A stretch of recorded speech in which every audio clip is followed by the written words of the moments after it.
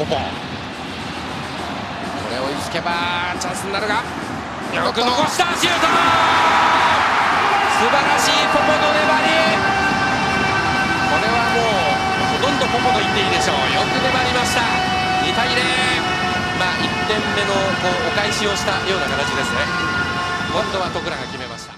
まあ、小川が実際にあのサイドポジションにいたわけではないですが相手のバックパスをねうまく取ってというシーンがありました。徳良のシュート。こぼしているこれをポポ最後は押し込みました。諦めずに行きましたよ。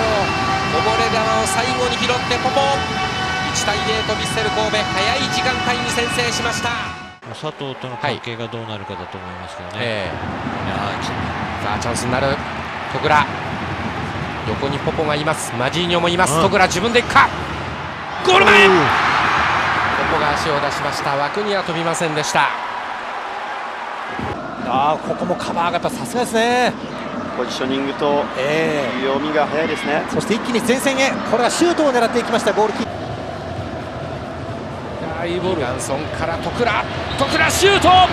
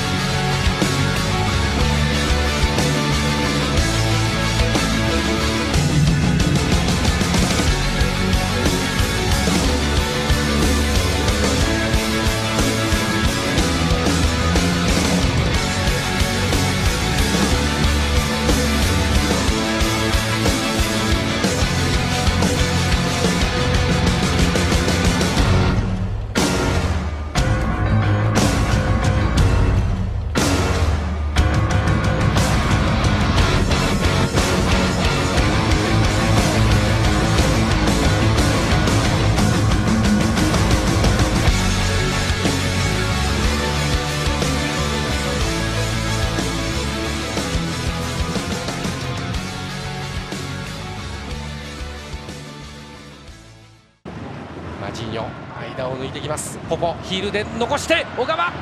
残したが倒れる。ファウルはない。しかし徳良シュート。決まった。ファウルと見て一瞬長崎のディフェンスの足が止まりました。そこを逃さず徳良スタメン起用に応えました。今シーズンの初ゴール。足立監督と抱き合いました。奥井のスローイン。頭で落として。有田から徳良小川が抜けていく小川のシュート!わずかに左。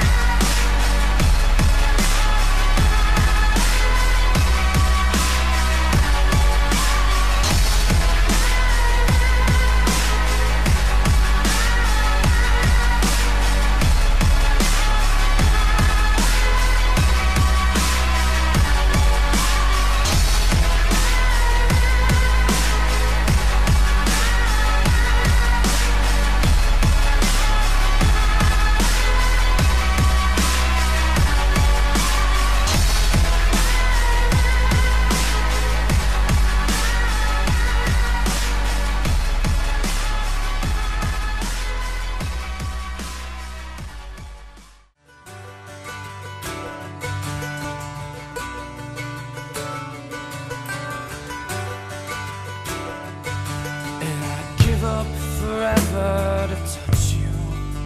Cause I know that you feel me somehow.